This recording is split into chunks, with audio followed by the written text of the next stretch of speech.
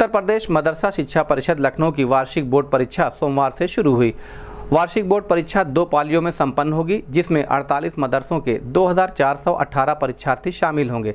प्रथम पाली में 1107 परीक्षार्थी मुंशी मौलवी के लिए और द्वितीय पाली में 1311 परीक्षार्थी आमिल, कामिल और फाजिल के लिए शामिल होंगे।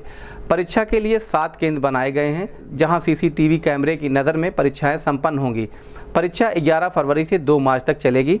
प्रथम पाली में पहले दिन की परीक्षा में सात सौ बानवे परीक्षार्थी उपस्थित और 315 अनुपस्थित हुए, जबकि द्वितीय पाली में सात सौ अड़सठ परीक्षार्थी उपस्थित और 133 अनुपस्थित हुए।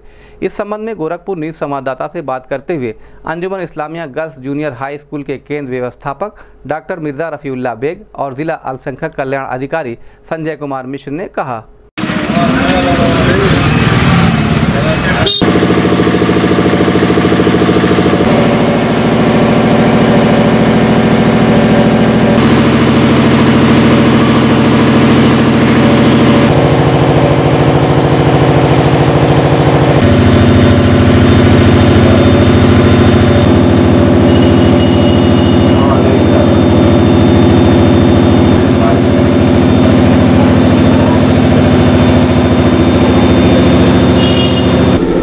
मदरसा शिक्षा परिषद लखनऊ उत्तर उत्तर प्रदेश की परीक्षा हो रही है। मुंशी मौलवी आलिम कामिल फाजिल। मुंशी मौलवी की परीक्षा सुबह में होती है आठ से ग्यारह प्रातः आठ से ग्यारह। और आलिम कामिल फाजिल की परीक्षाएँ जो होती हैं वो दो से पाँच शाम में होती हैं?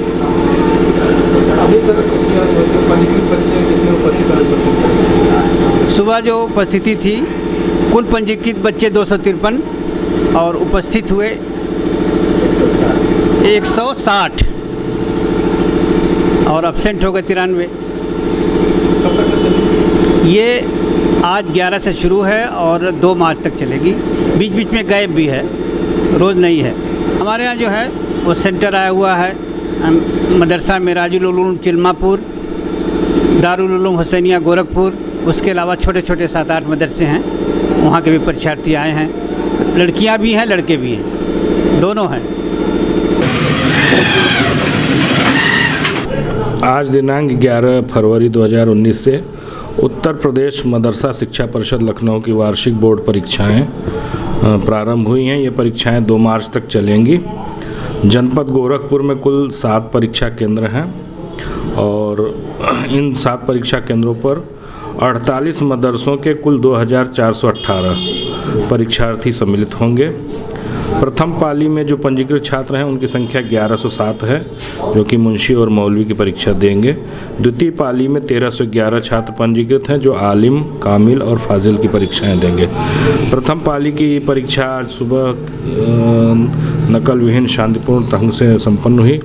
सभी परीक्षा केंद्रों पर सीसीटीवी कैमरे लगाए गए हैं। सभी कक्षों में, परीक्षा कक्षों में सीसीटीवी कैमरे लगे हुए हैं।